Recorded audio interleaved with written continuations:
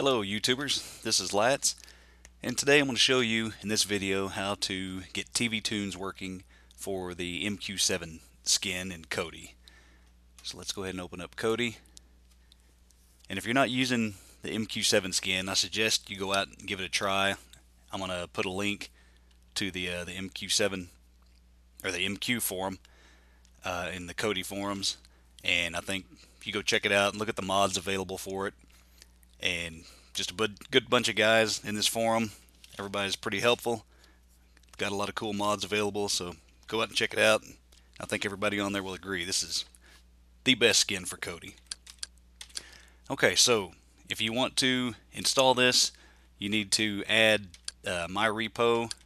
There's I couldn't find this on any other repo, but I did find a download for it, so I made it available on my repo. So if you go to your file manager and I've already got it added in here as a source. If you go to add source you can add it and I'll show you mine.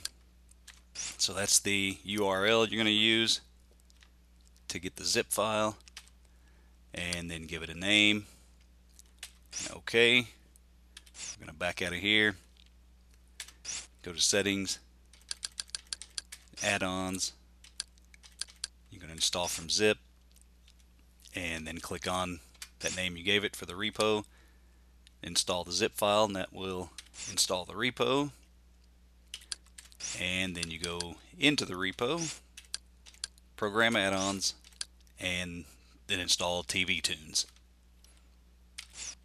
So MQ7 already has built-in support for TV tunes.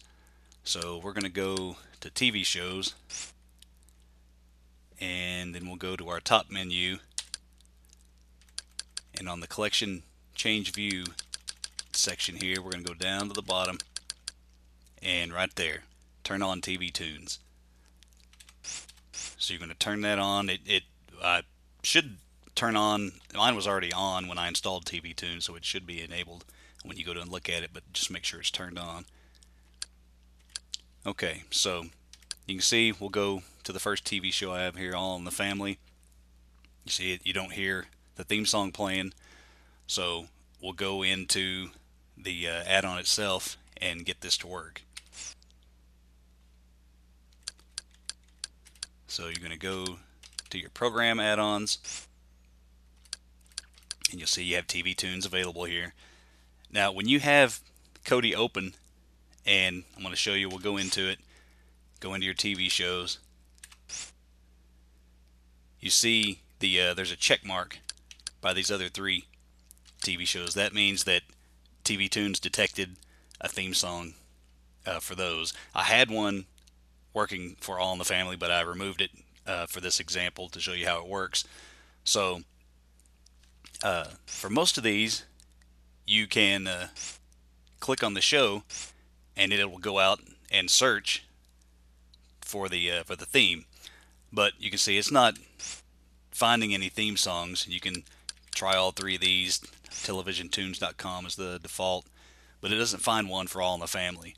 So I went out and just downloaded one myself. So I'll show you how to get that working.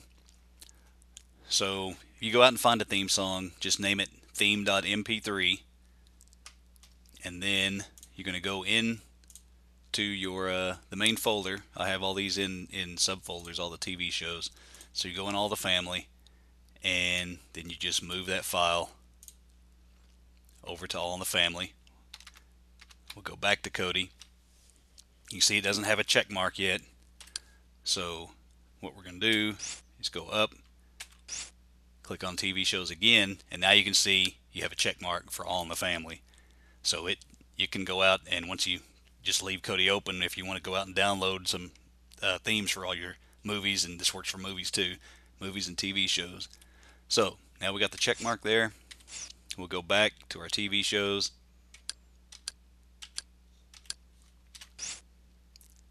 Boy, the way Glenn Miller and there you go. Songs that you can you can hear it. Uh, it fades out. You have some uh, options. We'll go back here and and uh, look at your add-on settings for TV Tunes. So you can alter the, the volume, how loud it is when you when the song plays. And you want to turn, I think these are turned off by default, play themes when browsing movie or TV show list. You want to turn those on. And then there's your fade out options. You can fade out when starting and exiting or just one or the other. So you can play around with the settings and get it set to the way you like. But that's it. That's how you get it working. And like I said, it works for movies and TV shows. Uh, let me know if you have any problems. Uh, comment below. Thanks for watching.